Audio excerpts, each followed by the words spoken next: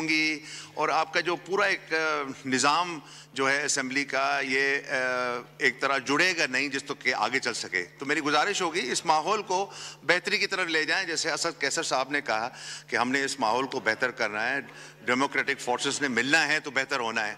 Best Gaur साहब। इसके बाद अख्तर मैंगल साहब।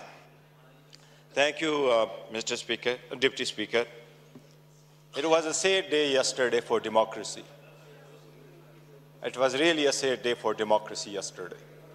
हम में से किसी एक ने भी ये तस्वर नहीं किया था, जो आइन के वो उठाते हैं, मुल्क के लिए जदोजहद करते हैं, कि किसी ऐसे बंदे का इंतखब होगा। वो इमेंस पावर के ऑफ़िस में जाके पाकिस्तान जैसे एटमी क़वत के, एटमी बटन उसके हाथ में दिया जाएगा। जिसके पास न पब्लिक मैंडेट हो, और जो चालीस चार दहाइयों से इकतदार में रहे हों, और वो चार दहाइयाँ उनके इकतदार के, ज़ाती मुफादात की एक ज़िंदा दस्तावेज़ हो। यही था वो जो आपने कल देखा है।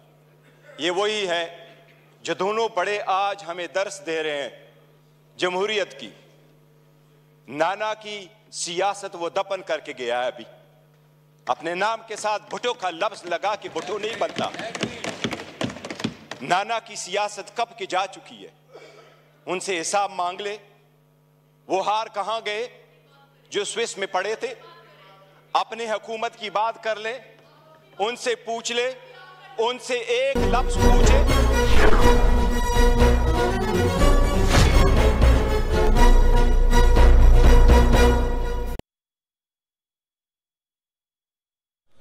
Wow!